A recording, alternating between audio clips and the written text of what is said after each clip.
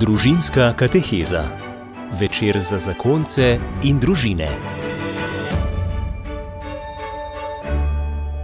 Drage poslušalke, spoštovani poslušalci, prav lepo pozdravljeni v današnji družinski katehezi, v kateri v tem letu predstavljamo različne skupnosti, skupine, ki podpirajo zakonce na njihovi poti. Ena od teh, ki pravzaprav lahko bi rekli nek unikum pri nas, pa je skupnost srce, skupnost za razvezane. Nocoj bomo več slišali v tej skupnosti, slišali bomo tudi pričevanje osebe iz te skupnosti.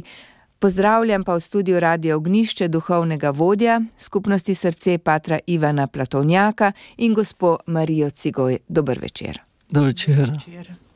Hvala, ker boste z nami podelila marsikaj iz življenja um, ranjenih ljudi, pa tako pogumnih ljudi, da so pripravljeni vstopiti v to skupnost in iti skupaj naprej. Za začetek, pater um, Ivan Platonjak, vi ste duhovni vodja, pa bi malo predstavila samo skupnost. Torej, če pogledamo malo v preteklost, so bili ločeni, razvezani, v cerkvi večkrat zapostavljeni, tudi obsojeni. Kaj novega, torej skupnost srce prinaša v crkvu na slovenskem, že vse od leta 2003, ko je bila ustanovljena?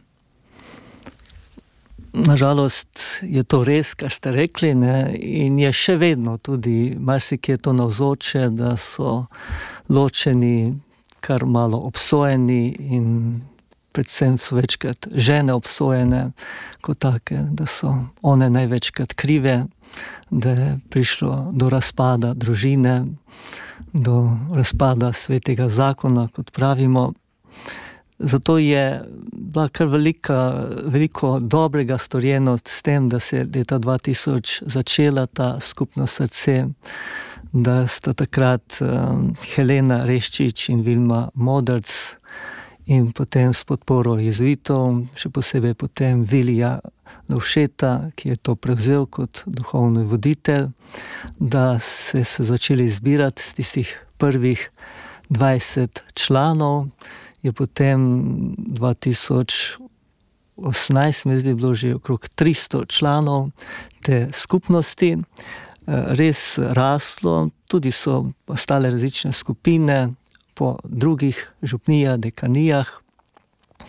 Tudi so po dveh letih bili sprijeti, ta skupnost bila sprijeta tudi odbor za družino pri Načkofiji Ljubljana, in potem še posebej je bil pod premik eh, tudi naprej dober s eh, patrom Tomažem Mikužem, ki je 2016 prevzel potem duhovno vodstvo in se je začelo tudi 2017 vse slovensko srečanje, kar se mi zdi zopet bila ena nova spodbuda.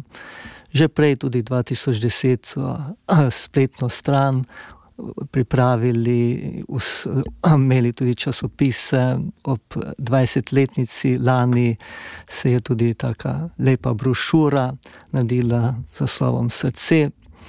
Tako da je marsikaj velikega, dobrega storjeno na tem področju, ampak vse to je gotovo nekaj malega v vso to problematiko, ki jo doživljajo mnogi ločeni. Ta skupina, skupnost ja, je namenjena predvsem tem, ki imajo izkušnjo ločitve. Ki nosijo v sebi to bolečino, to travmo ločitve, in jim želi ta skupnost pomagati, da se soočijo s to bolečino, pa hkrati tudi z novimi izzivi življenja, ki jih je ta ločitev prinesla, pa hkrati da iščejo pot naprej, da, da vidijo, kako živeti zdaj tudi to novo življenje, ki je nastalo po ločitvi in ki ga ni mogoče več spremeniti. Kakšni pa so cilji skupnosti? Um, Cilji so zelo različni, predvsem je ta podpora eh, ločenim in lahko rečem, je ta čustvena, moralna, socialna in duhovna podpora, da dobijo potem tudi eno celostno osebnostno rast, poglobitev ene osebne vere do Boga, predvsem da se ne oddalijo od Boga, ampak da zmorejo ustrajati kljub tej bolečini in da lahko tudi duhovno zorijo je tudi ena podpora pri žalovanju, ki je in nastane pri ločitvi in tudi odpuščanju in spravi, kar ni tako preprosto. Potem tudi podpora pri najdenju mesta v crkveni skupnosti, da zmorejo videti, da oni smejo ostati člani župnije. Druga medsebojna odprtost v tej bolečini, tej ranjenosti in tudi podpora medsebojna, eh, da se podpirajo in tudi imajo razna formalna in neformalna srečanja, ki jim pomagajo pri, na njihovi poti življenja. Je tudi pri pomoč pri reševanju težav, ki nastanejo, lahko tudi pravnih in drugih, da se med seboj podpirajo, in tudi pri vzgoju otrok, ki je velika skrb in velika bolečina, zopet kako so ti otroci in najti tisto pravo razmerje z ex-možem, ženo, da lahko skupaj vzgajata te otroke, da bojo nosili čim manj posledic potem tudi en prispevek enih krščanskih zrelosti vseh kristijanov, da se zavedamo, da imamo en zrel, spoštljiv odnos določenih. Kaj ti tega veliko krat manjka, in nimamo pravih pogledov na to.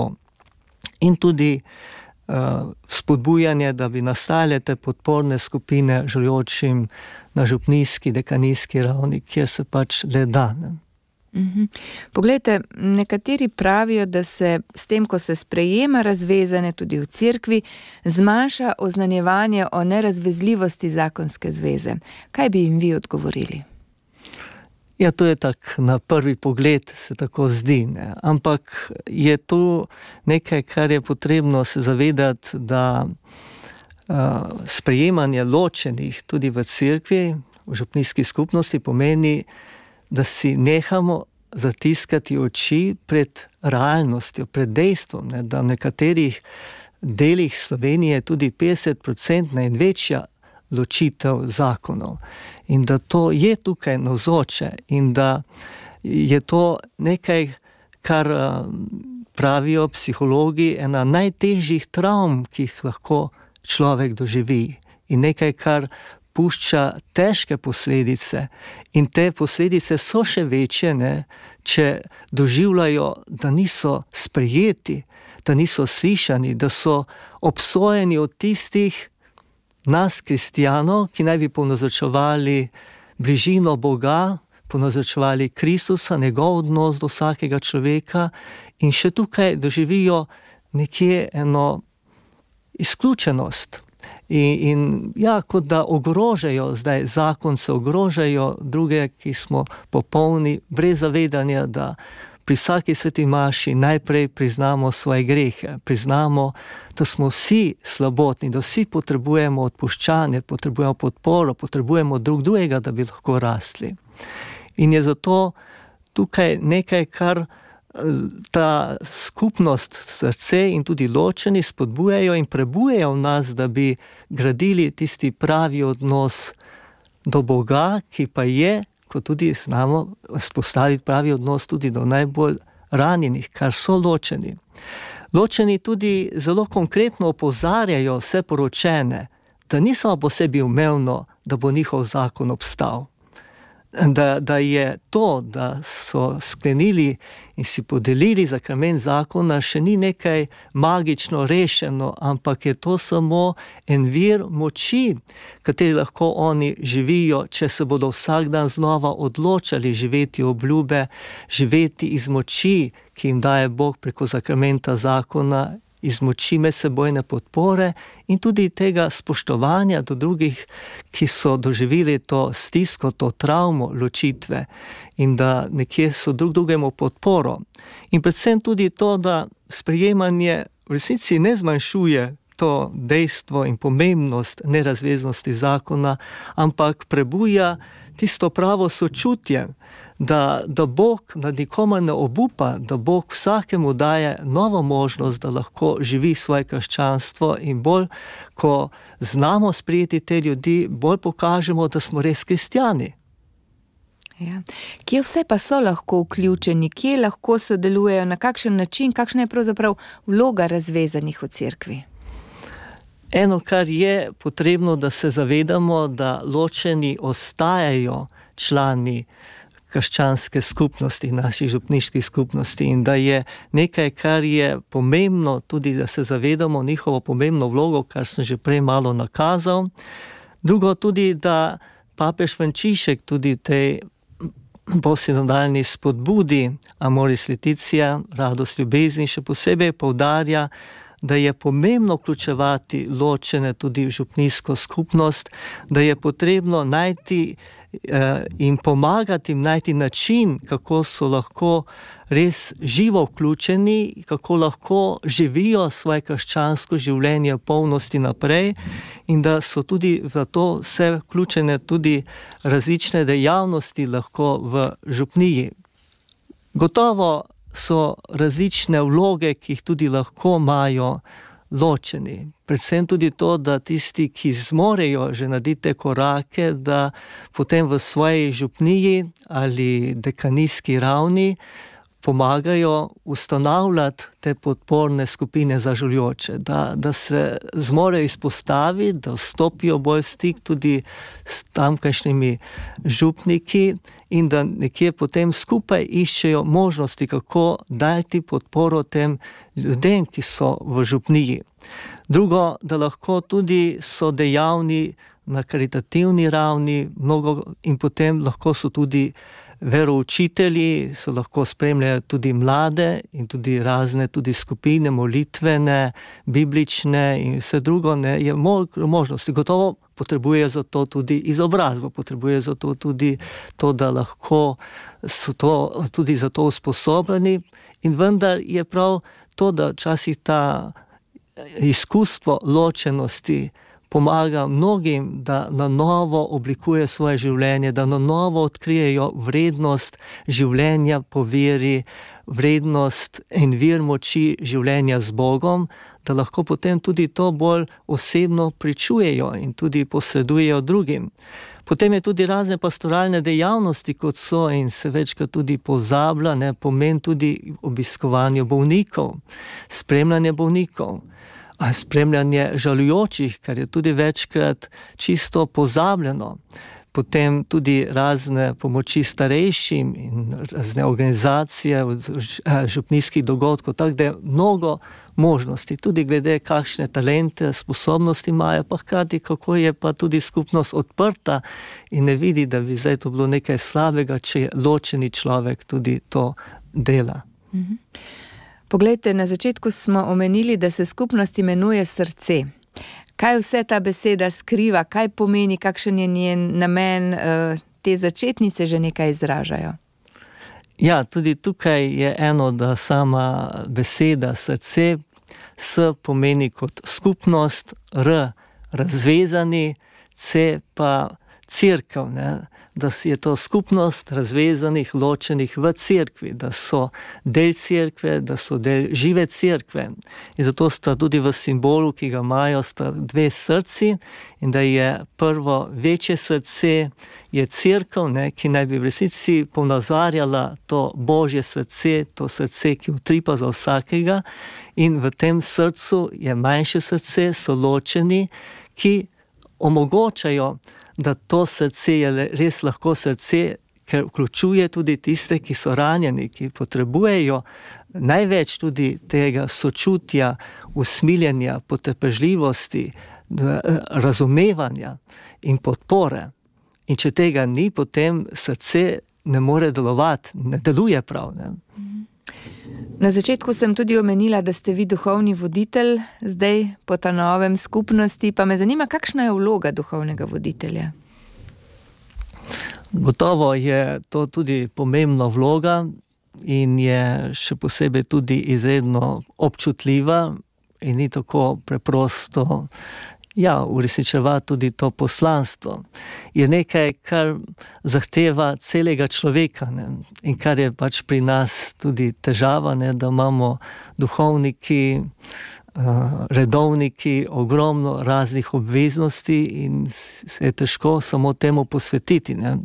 Ampak ena, kar je duhovni spremljevalec, tudi če rečemo voditelj, spremljevalec je tisti, ki naj bi bil vir duhovne, čustvene in tudi moralne podpore posameznim ločenim osebam, ne, da jih eh, pomaga, da se lahko soočajo s temi težavami, stiskami ločitve, ter jim pomaga tudi najti eno pot preobrazbe, ne, duhovne prenove in tudi ene vključitve v župnijsko skupnost.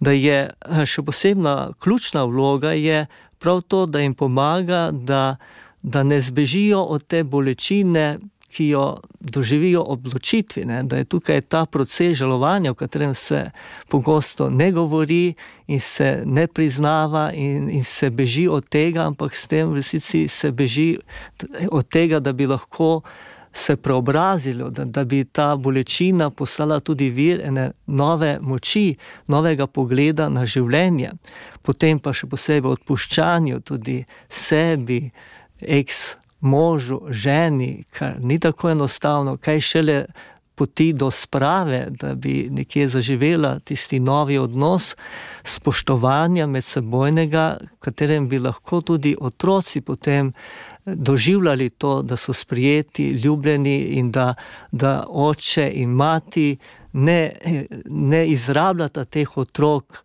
da bi navezovala na enega ali drugega, ampak da bi pomagala, da bi čim manj nosili posledic in da bi čim bolj odkrili, ne, da niso oni krivi, da to ni nobena njihova krivda, ampak da so pač do teh stvari prišlo, kar presega njih in da želita vse narediti, da bi otroci uh, odkrivali vrednost življenja, vrednost tudi zakonske zvestobe uh, in vseh teh vrednot, ki so pomembne in bistvene za življenje, in da ne bi v tem mislili, da je to nemogoče, ker pač njuna starša tega nista uspela živeti.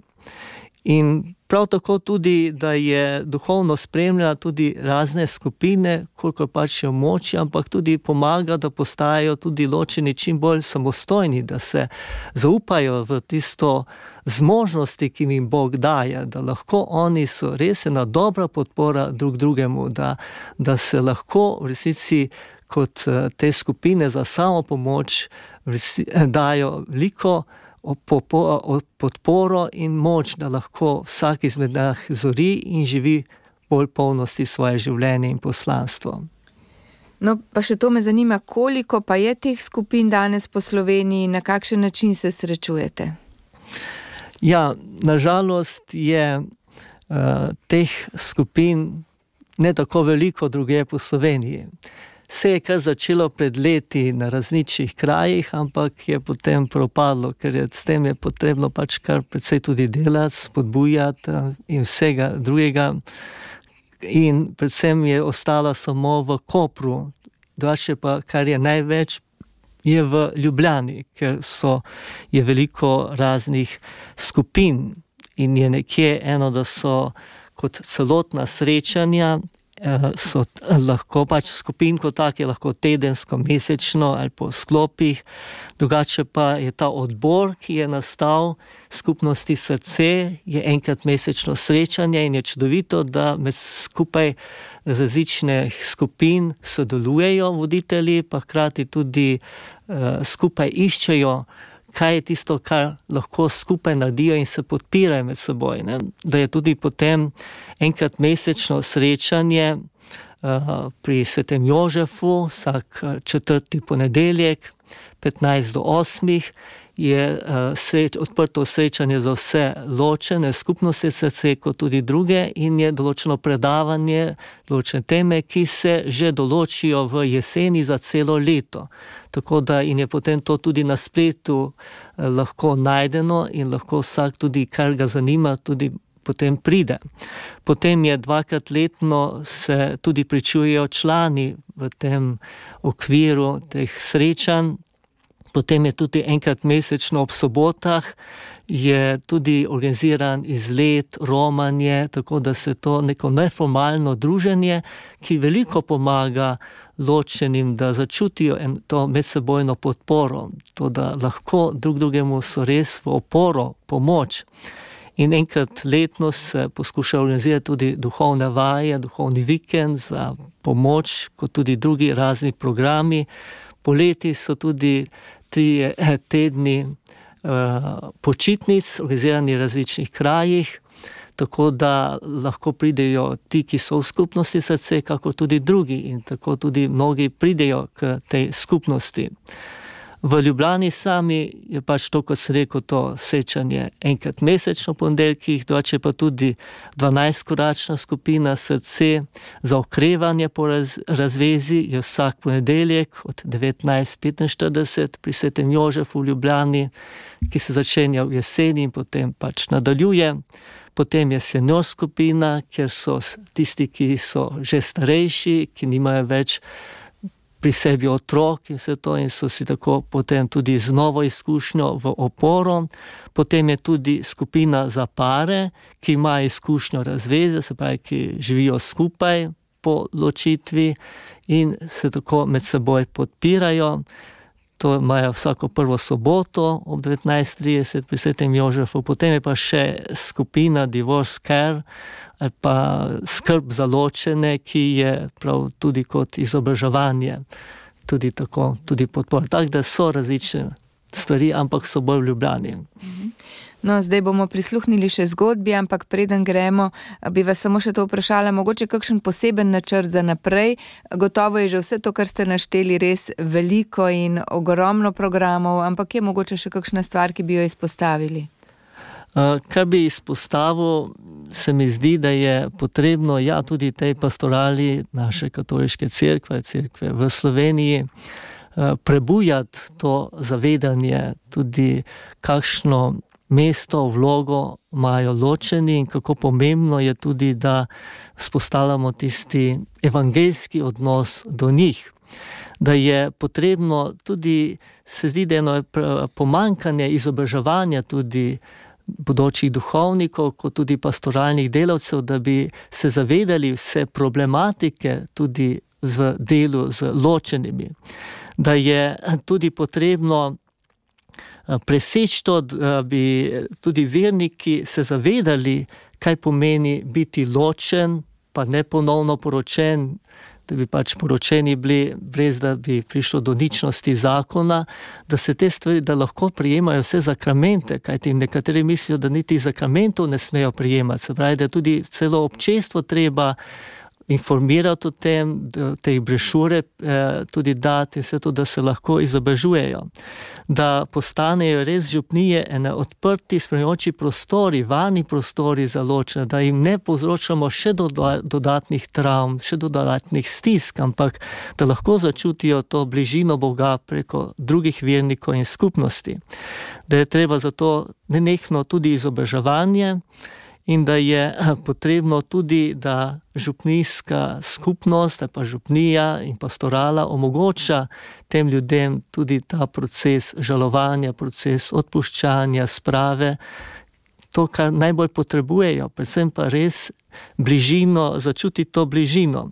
Sveda ta skupnost srce je kot taka, da bi bolj bila prepoznavna, da bi se več tudi o tem dalo na razne možnosti, o tem govorilo, da je tudi se širijo te skupine, podporne skupine v Sloveniji, da se na novo zopet začne to, kar je nekje omagalo se, da ne ostaja samo pač tukaj Ljubljana, pa Koper, in tudi kako pomaga tudi kot skupnost eh, tem družinam ločenim v vzgoji otrok, ne, da ti otroci ne bi bili prikrajšani za tisto, kar so, zato ker je prišlo do ločitve.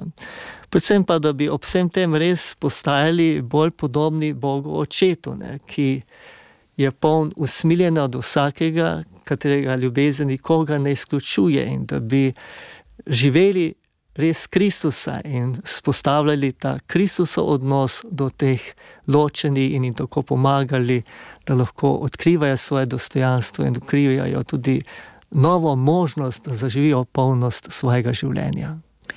Hvala vam, Pater Ivan Platonjak, res za ta pogled, eh, tudi dragocenost tega spremljanja ljudi, ki so doživeli to rano razveze, ločenosti.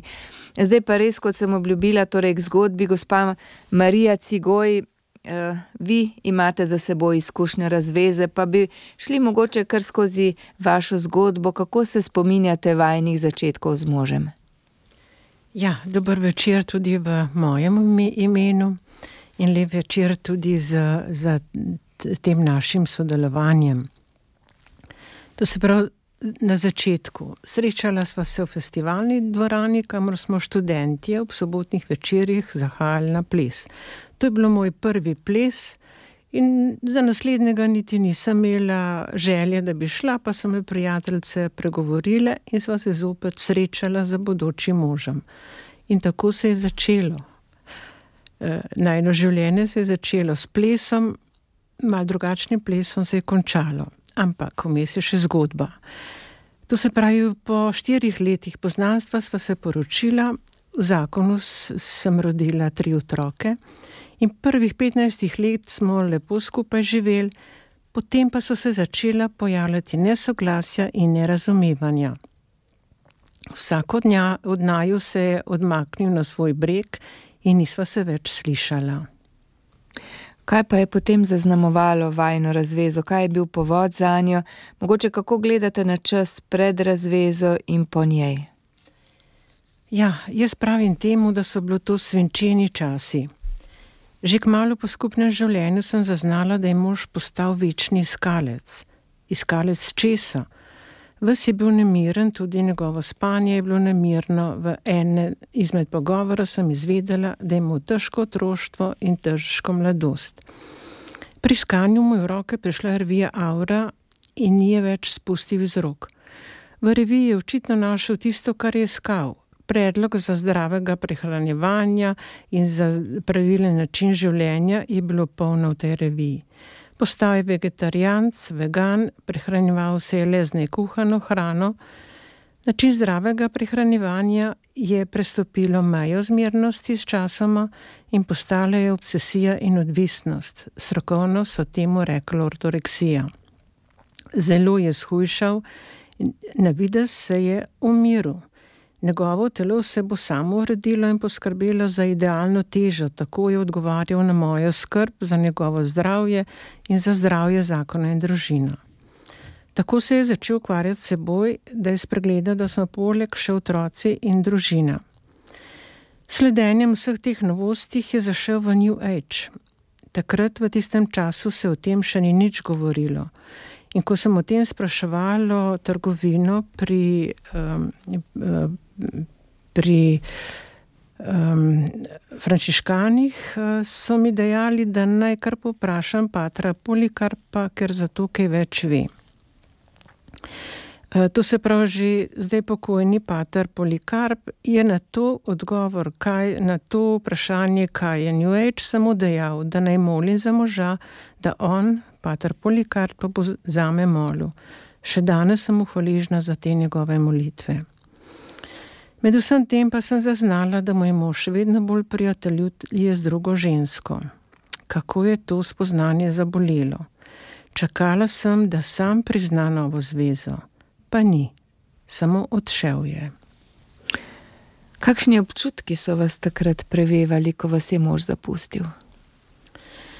Ja, ko se je mož odločil in odšel, sem je podaril svet. To je bilo takrat nepričakovano, če čeprav je vse kazalo na to, da bo do tega kmalo prišlo. Da sem lahko preživljala družino, sem morala se razvezati, da sem se lahko tudi finančno osamosvojila. Obločiti se je vse obrnilo na glavo, kot da bi bomba treščila v naša življenja. Veliko reči je bilo potrebno začeti znova oziroma drugače. Ostala sem sama s tremi otroki, prizadeta sama in vsak od otrok je bil ranjen na svoj način. Kje ste pa našli sploh moč, mogoče kakšno oporo, da ste šli naprej v teh trenutkih?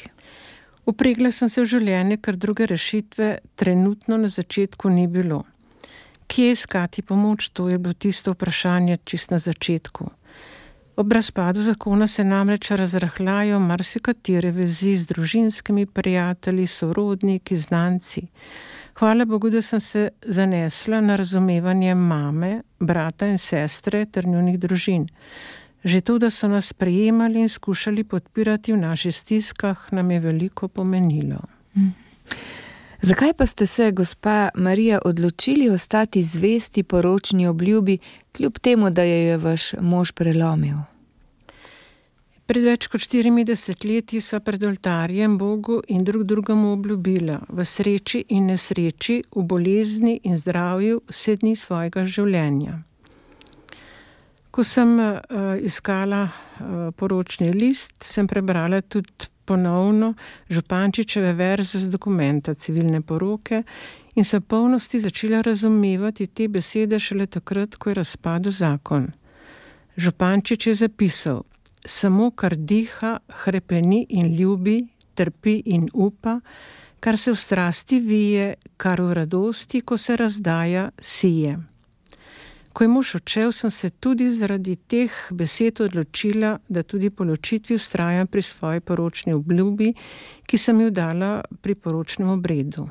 Mož je sicer tudi obljubil zvestobo v sreči in nesreči in vseh teh dogodkih, ampak pač te obljubi se ni držal in ker je poroka, ker je zakon podelitev drug drugemu, je tudi odločitev, uh, a se te um, podelitev oziroma te obljube držiš ali ne.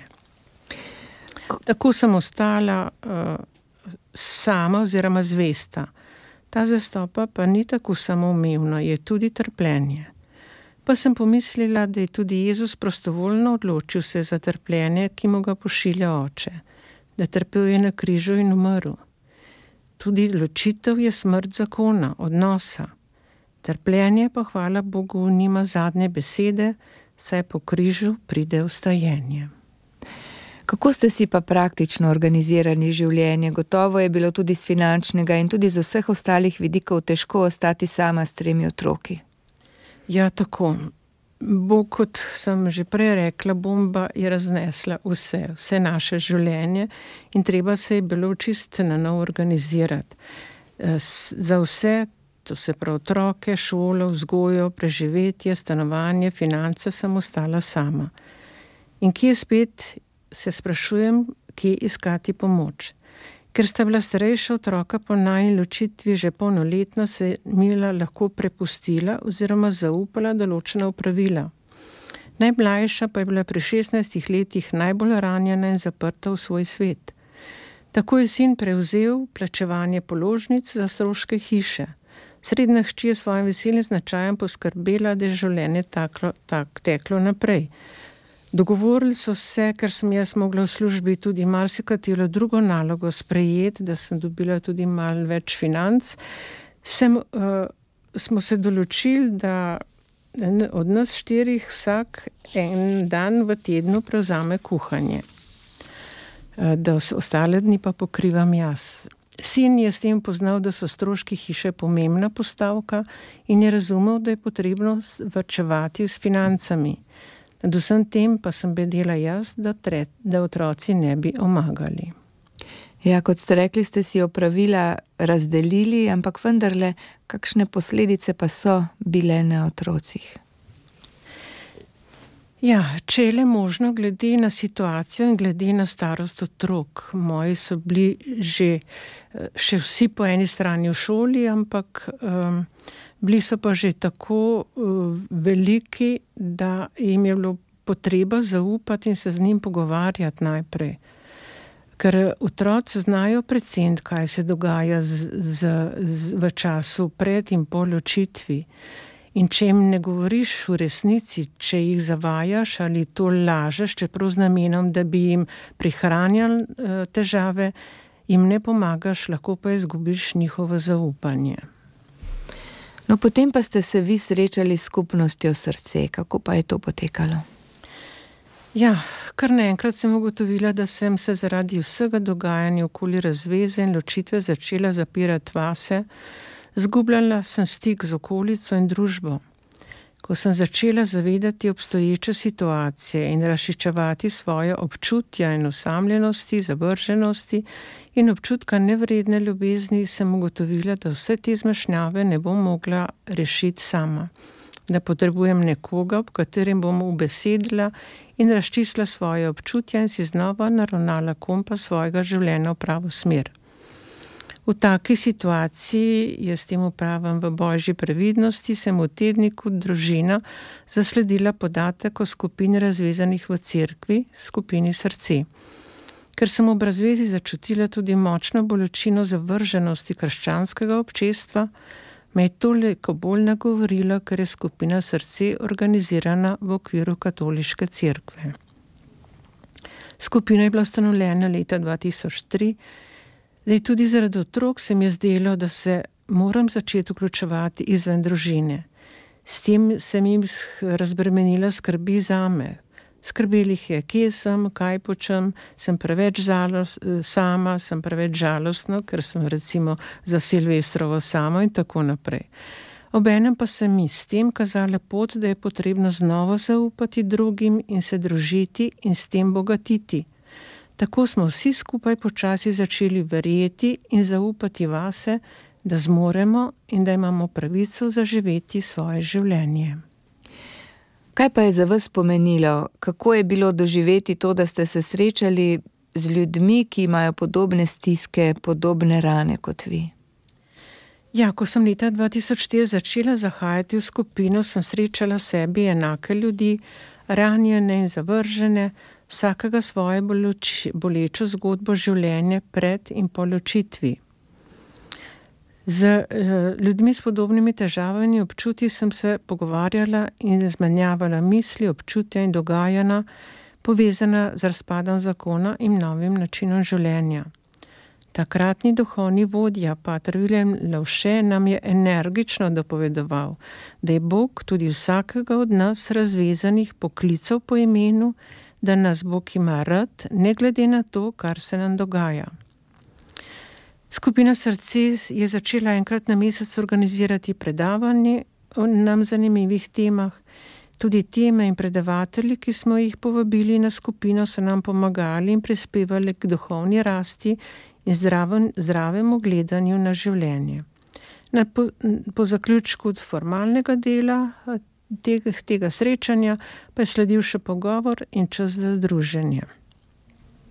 Še zlasti pa se mi zdi pomembno družanje na duhovnih vajah, romanih izletih, ko z nekom hodiš in premaguješ strmino, tudi beseda, ki udejanja bolečino in skrb, spontano teče. Pletejo se prijateljski vezi in občutek, da nisi več sam, da vedno lahko pokličeš koga, ki mu lahko preprosto poveš: Danes ta trenutek mi je tako težko in razumel te bo. Pomembno pa je bilo, da smo se kljub težkim situacijam znali tudi veseliti in uživati v druženju. Ja, gotovo v teh obdobjih, v teh stiskah se prepleta paleta čustev, tudi obsodb obločitvi. Kaj ste vi doživljali, kako ste se s tem spopadali? Ja, kaj pa širše občestvo, kako bolijo te nalepke ki jih ljudje lepijo ali pa lepimo drugim, ni znala, ni potrpela, ni razumela. Vsak ima svojo zgodbo, zgodovino in sedanjost, ki jo ne poznamo. Marsikdo si po ločitvi ustvari novo družino, različna so pota gospodova. Namesto da obsojamo in se ukvarjamo s krivdo, sprejmimo in spoštujemo drug drugega, molimo za mir v srcu in med ljudmi, ter za zdravo pamet na vseh nas, nas vseh nas. Dopustimo, da sveti duh veje med nami in nas povezuje v Gospodu.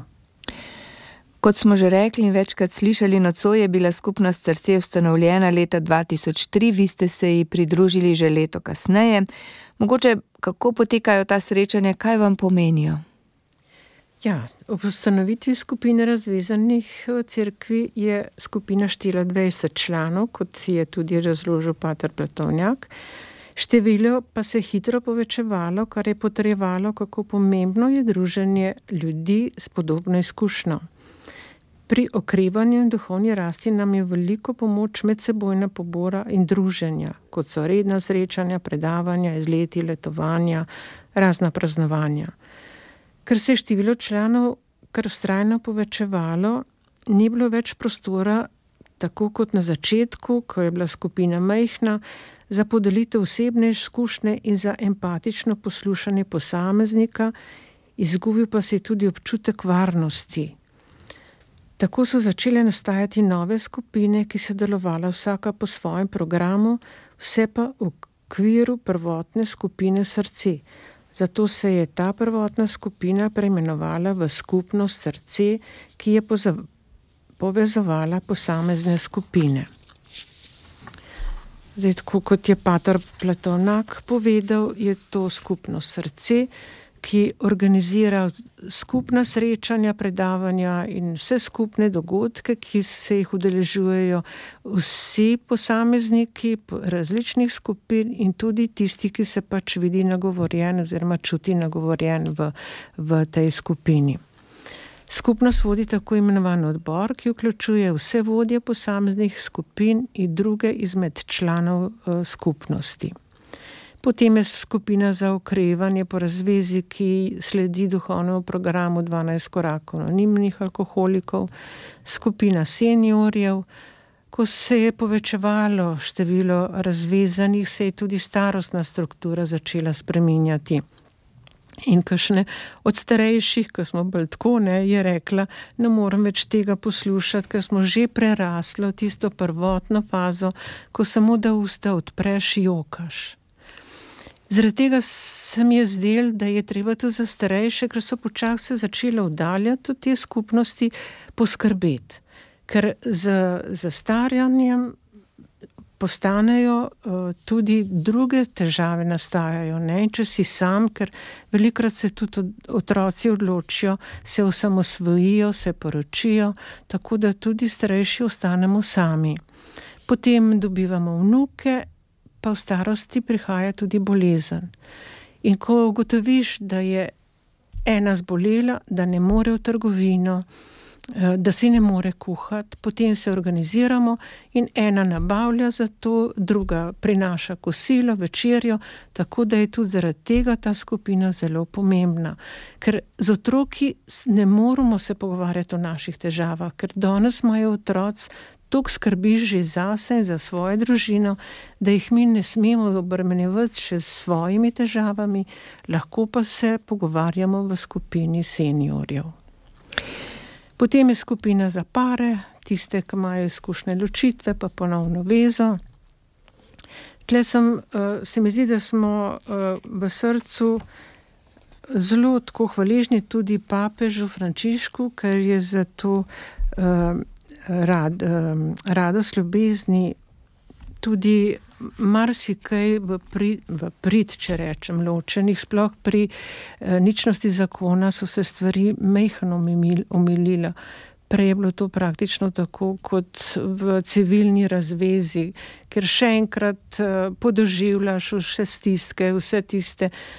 Težko pa nikomu poveš, kaj ne ve, kako zgleda v okviru ene družine, ko se nesporazum razvije v, v tudi fizično nasilje.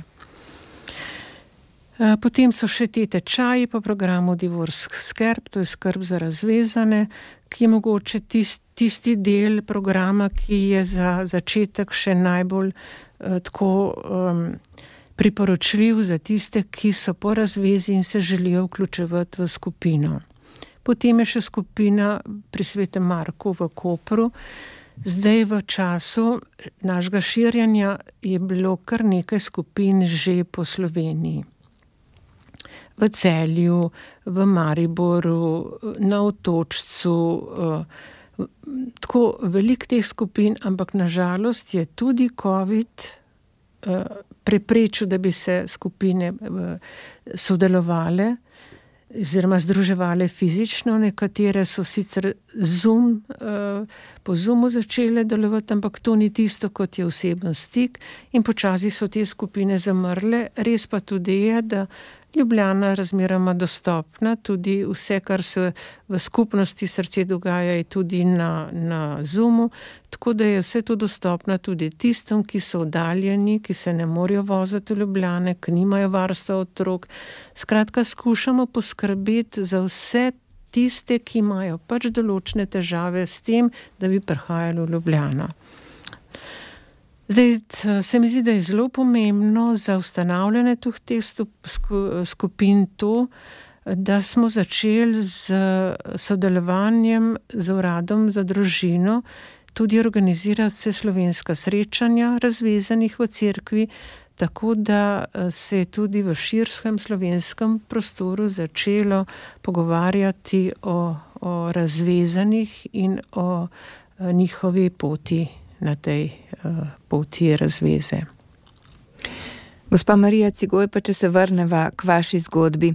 Dolga leta ste ustrajali v prostovoljnem celibatu, kot ste rekli. Kaj pa vam je to prineslo? Ja, kako sem lahko živela svoj neprostovoljni celibat? O tem smo se tudi pri skupinah že velikokrat pogovarjali, ampak recimo moja zgodba. Pred Bogom sem uh, pri poroki, poroki obljubila v sreči, nesreči, bolezni in zdravju vse dni svojega življenja. Svojega moža sem imela rada, z njim sem se zato poročila in v srcu ostaja nekaj lepega, toplega, nižnega, ne znam razložiti, s tem pa mir in spokojnost. Pomemben del mojega naših življenj je zaključen. Naučmi, naučili smo se, kaj boli, rani, zato smo dolžni delati za mir in dobro med ljudmi. Moja poročna obljuba, obljuba je ostajala do smrti moža. V tem času sem odkrivala, kaj pomeni biti zvesta možu, ki me ne ljubi. Pomeni odpuščanje, prevzemanje odgovornosti za svoj delež, vzgoja otrok brez zamir do očeta. Odločitve naprej vem, da ljubezen ni samo nekaj lepega, navdušujočega, da ljubezen tudi zaboli, da rani in žalosti in veš, da to ni prava ljubezen. Kaj je ljubezen? Ljubezen je odločitev in ustrajanje na tej odločitvi. Trudila sem se živeti po božji besedi v položaju, ki si ga nisem sama izbrala. Ampak tudi to je življenje in za življenjem je ustajenjem. Je ustajenje. Molim za dar svetega duha, ki nas povezuje v Gospodu. Pa ste imeli kdaj občutek, da vas je Bog zapustil na tej poti? Mogoče sem se bolj ukvarjala s tem, da sem ob stiski in trpljenju spraševala, zakaj je ravno mene to doletelo. Pa me je takrat takoj prešinila misel, a si mislim, da bi moralo trpljenje doleteti drugega, morda celo mojim otrokom. Ah, ne, gospod, sem rekla, sprejmem, kar pošiljaš, naj bo Jezus moja pot, resnica in življenje. Zakaj pa ste lahko hvaležni v življenju? Ja. Jaz pravim, da je hvaležnost moj način življenja. Tudi na preteklost gledam s hvaležnostjo.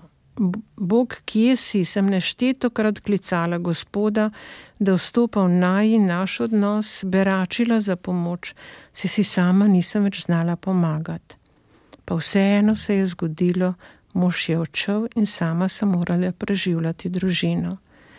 Nikoli nisem nikogar niko videla pri maši jokat. Jaz sem pri vsaki maši jokala, ko je pred obhajilom, nisem vredna, sem izgovarjala, nisem vredna, da prideš k meni, ampak reci le besedo in ozdravljena bo moja duša. Za to besedo sem res uh, beračla. Ja, hvaležna sem Bogu za spremstvo in pomoč, čeprav jo v tistem trenutku nisem zaznala. Sedaj pa vem, da bi se lahko marsikaj zgodilo drugače, če našega gospoda ne bi bilo poleg. Vesela sem otrok, ki so se nam rodili v zakonu. Že zaradi njih moj zakon ne more biti napaka. Pa ste uspeli možu odpustiti? Vsak ima svojo težko zgodbo, po večini pa smo vsi zaznamovani s tisko in bolečino zavrženosti in osamljenosti. Res pa je, da čas spremenja odnos do tistih dogodkov. Pri 70-ih sem z časovne distance na stvari gledala drugače. Postaneš bolj mehak, prizanesljiv. Rane ostajajo, ne krvavijo pa večno. Postanejo poveličane rane. To moramo doseči, se s tem osvobodimo sebe in otroke. To pomeni, da okrevaš po ločitvi. Ko v cerkvi poslušam uh, stavek o podobi naša srca po svojem srcu, sem se sprašvala, kaj pa to pomeni. Prišla mi je misel, Jezovo srce krvavi zaradi naših grehov, pa vseeno ne izloči nobenega iz svojega srca. Tudi moje srce krvavi zaradi ločitve, pa sem žal vseeno obdržala v svojem srcu. Kako pa danes otroci doživljajo vajno razvezo, njegov odhod od doma? Ja, res je, otroci so največja žrtev uh, razveze in ločitve. Takrat sem se zavedala, da so otroci ranjeni, da pa obločiti marsikaj še niso razumeli. Pogovoru z njimi pa sem povdarila, da je potrebno spoštovati starše, dejanja pa so tista, ki jih lahko obsojamo in razčiščujemo. V življenju pridejo različne preizkušnje, nekje huda bolezen, smrt, izgudba, pri nas je bila to ločitev. Otroke sem prosila, da ne pozabijo, da pri Bogu ni nič nemogoče. Bolj se znaš zahvaljevati za vse prejeto, močnejša je žeja po Bogu, po Gospodu in njegovi pomoči. Gospa Marija Cigoj, zdaj ste že vdova tudi eno leto. Kako pa živite to obdobje življenja? Uh, ja, 20 let sem živela sama, aprila 2003 pa sem dočakala 45 let zakramenta svojega zakona, dan prej se je mož poslovil z tega sveta. Žal pa se z njim nismo poslovili mi, njegova družina. Vsi skupaj nismo uspeli do konca ne predelati tega, kar se nam je dogajalo. Preveva nas mešanica zmešnjava čustev. Mislim pa, da smo možu in očetu skupaj vse hudo odpustilo. Bog vse obrne v dobro. Molila sem za njim z mislijo, da se morda sploh ni zavedal, kaj je delal imel je težko otroštvo od spočetja dalje, ni znal predelati vseh težav tega nahrbnika iz otroštva. Naj počiva v miru. Hvala vam res uh, za to, kar ste podelili z nami. Mogoče še kakšna misel ob sklepu? Ja, za zaključek bi mogoče prebrala misel svete matere Tereze, svetnice malih poti, ki mi je pomagala pri okrevanju. Vabljen je Bogu, da si točno na tistem mestu, na katerem moraš biti. Ne pozabi neskončne možnosti, ki jo vera daje. Uporabi te darove, ki jih dobivaš, in posreduj ljubezen, ki jo imaš. Bodi zadovoljen z vedenjem, da si otrok Božji. Naj se ta prisotnost upije v tvoje kosti in dopusti svoji duši svobodno voljo, da poje, pleše, slavi in ljubi. Veliko sem brala in poslušala takih uh, misli, tudi na radio Ognišče, na, uh, drus, v družini in v drugih revijah s podobno vsebino. Vse to je pripomoglo k duhovni rasti in postavljanju žive, življenja v realne okvire. In še zadnjo zahvalo patrom jezuitom, ker so v tistem času, ko se z nami razvezanimi ni nihče ukvarjal, uh, sprejeli nas v medse in uh, tudi omogočali, da smo bili v, v tam pri njihovih prostorih, da so nam predavali, da so nas sprejemali in iskrena zahvala za vse to. Hvala vam, gospa Marija Cigoj, da ste odprli svoje srce tudi našim poslušalcem, da ste podelili z nami vašo zgodbo. Hvala vam, Pater Ivan Platovnjak, za vaše dragoceno delo in da, da ste nam predstavili skupnost srce. Želim vam obema lep večer še naprej in veliko blagoslova. Hvala. Ja, hvala, lep večer naprej s pogumom. Hvala tudi vam, spoštovane poslušalke, cenjeni poslušalci, da ste bili nocoj z nami. Če oddaje niste uspeli v celoti slišati, ji lahko prisluhnete tudi v našem audio arhivu. Pripravila pa sem jo Marjana Debevec. Želim vam lep večer še naprej.